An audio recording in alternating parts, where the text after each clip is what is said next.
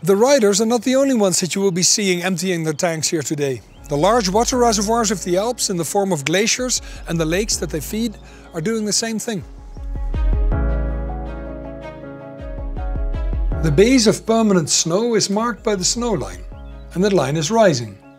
When climates were cooler in the past, the snow mass was larger and extended much deeper into the valley. Glaciers form high up in the mountains where snow gets compacted into large volumes of ice. They grow in the winter and in the summer they melt at their front, providing water to streams and lakes and eventually to large rivers like the Rhone and the Rhine and the Po. Every year, these glaciers provide fresh water and power to 170 million people.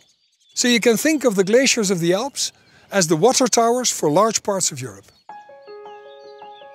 But in times of rising temperatures, the fronts of the glaciers retreat and the volume of the water tower decreases. Every year, an amount of water is lost from the glaciers of the Alps that is 10 times the volume of the large lake down there. And so the balance is tipping. And that is going to affect the ecosystems of the mountains and the lowlands alike, including us. So the glaciers of the Alps are a bit like riders that didn't eat enough before their final climb.